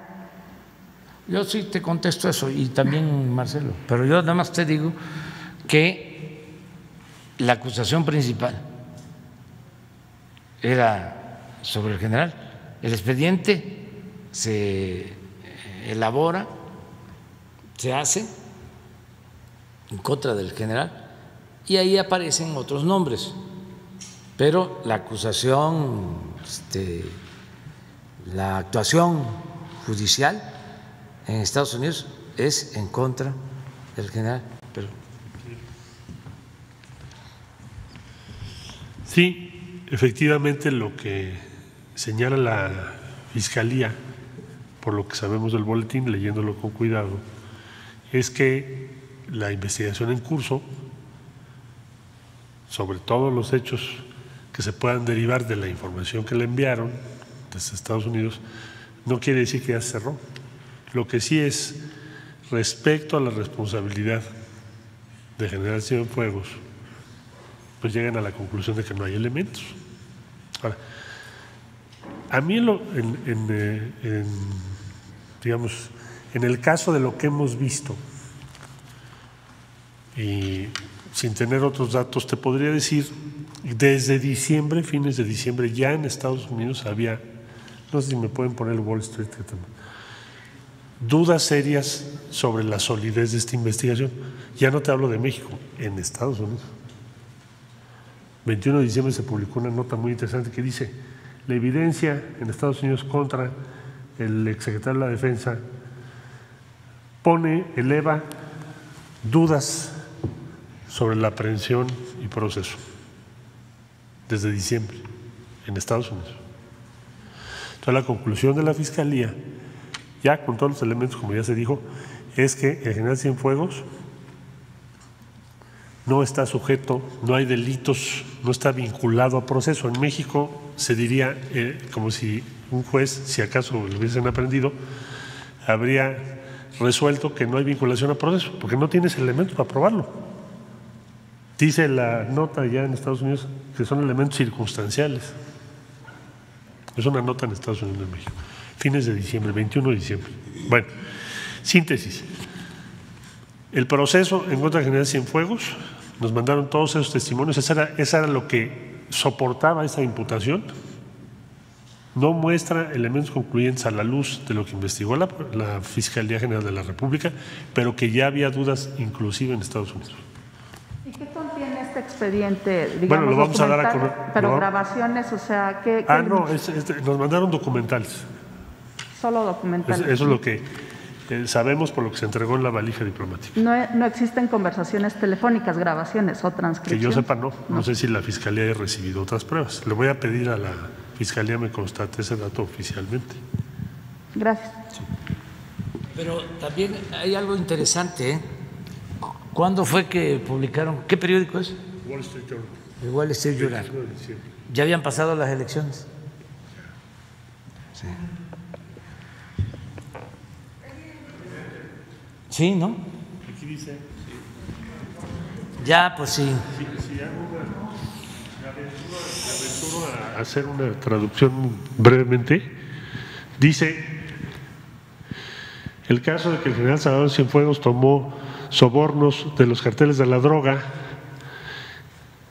es la- largamente, ampliamente circunstancial. Personas en ambos países dicen, con lo que se reducen las posibilidades de que sea eh, procesado y condenado en México. ¿Qué cosa es circunstancial? Es lo que es producto de circunstancias, ¿verdad? Son las circunstancias. Bueno. Vamos, hoy. Gracias, presidente. Sandra Aguilera, del Grupo Larsa Comunicaciones. Presidente, si, Estados Unidos actúa arbit- arbitrariamente con la detención del general Cienfuegos, ¿qué se hará al respecto para que no vuelva a suceder ahora en el gobierno de, de Biden? Y por otro lado, presidente, quisiera saber si usted nos puede informar si investigan al general Cienfuegos por el caso de Ayotzinapa. Gracias, presidente. Sí, mire, este, a partir de esto se decidió hacer una reforma a la ley de la seguridad nacional para eh, este, eh, ordenar todo lo relacionado con la cooperación, no solo con el gobierno de Estados Unidos, sino con todos los gobiernos del mundo, como lo hacen también este, todos los países. Eh, hay cooperación, sí, pero este, nuestro país es eh, libre, soberano y eh, se tienen que fijar las reglas. No es como antes, que entraban y salían del país. Este, cuando pusieron en práctica el operativo rápido y furioso, este, lo diseñan en Estados Unidos para introducir armas a México que causaron la muerte de muchas personas. La DEA, precisamente. Y otras este, agencias. Cuando se descubre, ¿no? De que además eh, había resultado un operativo fallido y que había causado la muerte de muchas personas, porque hay que recordar que este, eh, dejaron pasar armas para que con sensores esas armas este, fuesen em, vigiladas, se les diera seguimiento y así supuestamente aprender a delincuentes. Y eso fue un acuerdo que hicieron, se pensaba abajo. Bueno, el presidente Calderón declaró que no sabía. Si sabía o no sabía, eso es otro asunto. Pero él declara que no sabía. Entonces miren la intromisión, la violación flagrante a la soberanía. ¿Cómo este, van a suceder estas cosas? Entonces, por eso la reforma a la ley de seguridad nacional, donde no se cancela la cooperación, pero sí este, tenemos que eh, saber lo que se hace en nuestro territorio, quiénes están interviniendo, bajo qué condiciones, que no se viole nuestra constitución. Entonces, fue poner orden, ya eso está aprobado por el Congreso, incluso ya existe el reglamento, ya es una etapa nueva en la relación. ¿Qué otra cosa me preguntabas? Ayotzinapa, si están investigando al general Cienfuegos por el caso la de investigación Ayotzinapa. está abierta en el caso de Ayotzinapa. Estamos eh, este, trabajando en esa investigación de manera coordinada. El Poder Judicial, la Fiscalía y nosotros, el Poder Ejecutivo. Y hay el compromiso con las madres, con los padres de Ayotzinapa de eh, conocer la verdad, lo que realmente sucedió y eh, dar con los jóvenes, eh, encontrarlos a los jóvenes y castigar a los responsables y la investigación está abierta. Hay 80 detenidos y hay órdenes de aprehensión este, que eh, esperemos nos lleven pronto a romper el llamado pacto del silencio. ¿no? Inclusive estamos este, ofreciendo garantías a quienes están detenidos eh, para que nos ayuden y vuelvo a hacer ese llamado que todos los que tengan información nos ayuden y nosotros los protegemos y les damos garantía, porque es un asunto que se tiene que esclarecer. Es mi compromiso. Este, se, lo, se lo acabo de decir a las madres, a los padres de familia. Este, nosotros no vamos a descansar hasta no eh, llegar a la verdad sobre este caso, encontrar a los jóvenes y castigar a los responsables. Gracias.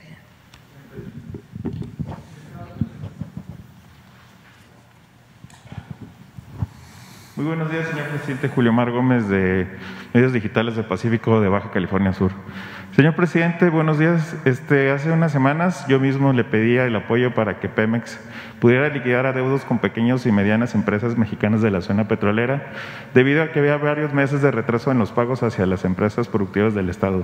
Hoy se le agradece porque su voz y su petición surtió efecto y esperamos, eh, esperado y han empezado a regularizar esos pagos. Muchas gracias. Asimismo, los pequeños y medianos empresarios mexicanos del ramo reconocen una mejoría en el trato y las oportunidades que Pemex les está dando en esta administración que usted atinadamente de cabeza, ya que de antaño prevalecía una preferencia de las transnacionales consultoras y contratistas proveedoras extranjeras. La petición que se, hace en estos pequeños y medianos empresarios mexicanos ahora es tratar de que estas empresas reciban pagos regulares y oportunos y no se acumulen los saldos vencidos. Porque esto los están matando a estas empresas que no pueden conseguir financiamiento ni cuentan con recursos para resolver sus gastos propios. Dado que su capacidad de apalancamiento es mínima, al igual que a la margen de la contribución de los servicios y productos que proveen, dado el alto nivel competitivo. Muchas gracias, señor presidente, y esperando que sigan así oportunamente los pagos. Por eso le mandan un agradecimiento a estos empresarios por parte de nosotros. Por otra parte, eh, preguntarle, señor presidente, si esta relación no se afecta en cuanto a que cinco estrellas pudieron más que una justicia, porque eh, hay gente que ve que esto es una injusticia. Cinco estrellas pudieron más que la impunidad.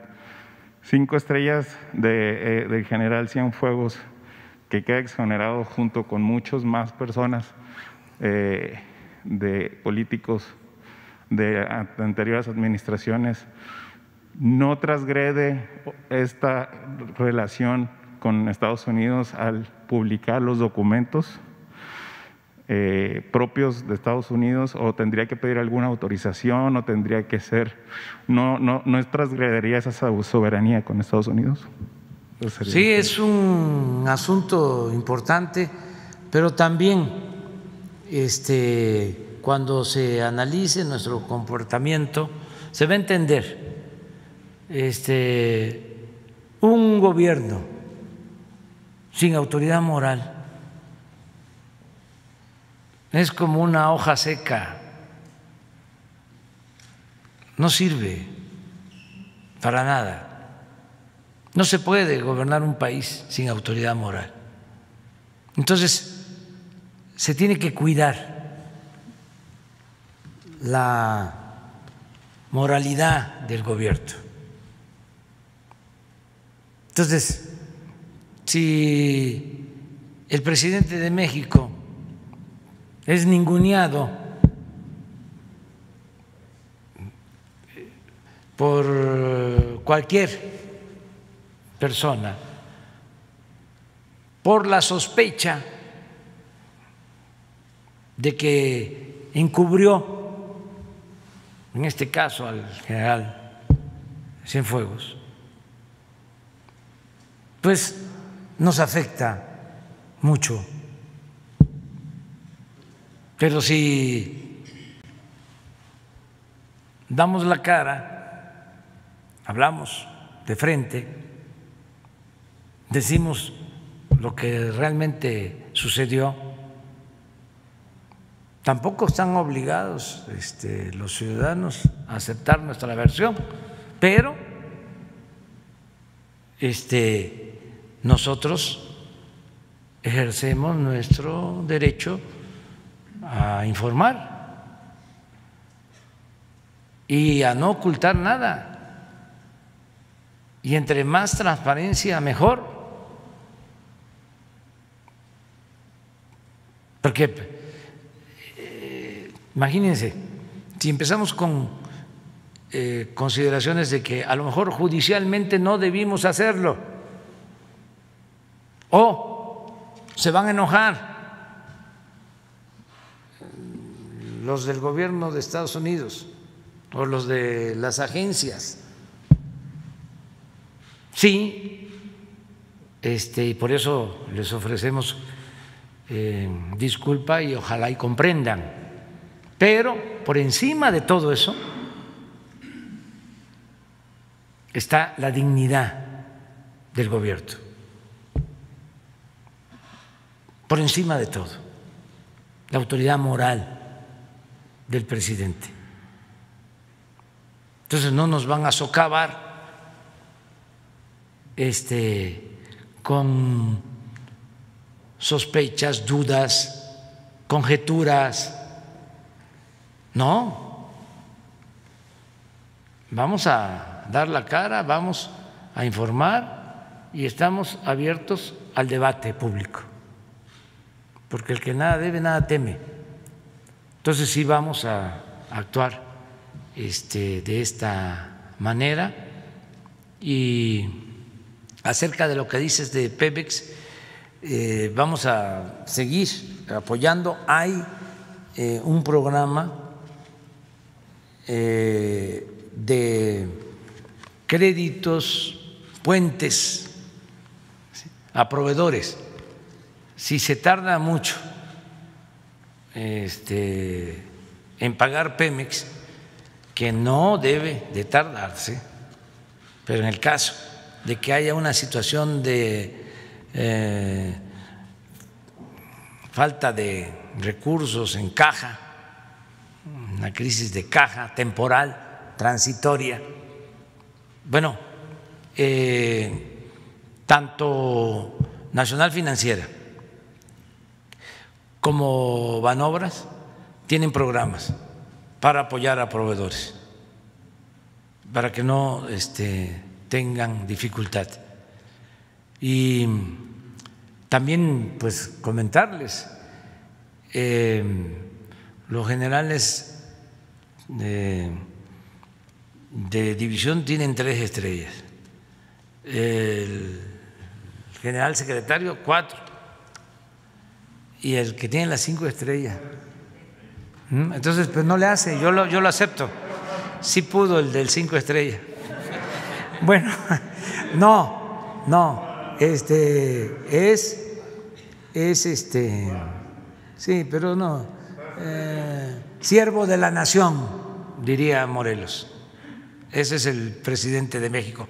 Ya se terminó, porque este, ya ahora ya no, no, no tenemos. Este, ayer le hicimos homenaje a, a compañero Arbizo y se enojaron porque pusimos a Benito Bodoque. Estos andan de un humor que qué bárbaro. ¿Sí? No se aguantan ellos mismos. O sea, ¿qué? Si Benito es este de lo más ingenioso que puede haber. O sea, eh, yo veía con, con, mis hijos, Don Gato y su pandilla, es una serie muy buena, ¿sí? Y el, bueno, Cucho también, a ver, pero Benito, entonces, trending topic el Benito Bodoques, se enojan de todo, o sea, ya, serénense. Bueno, nos vemos el lunes, vamos a Lázaro Cárdenas, al puerto de Lázaro Cárdenas, Michoacán, hoy a la gira y luego a la Costa Grande de Guerrero. Eh, vamos eh, a terminar el domingo en Tierra Colorada. Vamos a inaugurar eh, una universidad que está dedicada a la formación de médicos en Guerrero. Ahí terminamos, pero es una gira por toda la costa grande de Guerrero. Empezamos en Lázaro Cárdenas, Michoacán, y eh, nos vamos hacia Guerrero. Muchas gracias. Dios a Dios.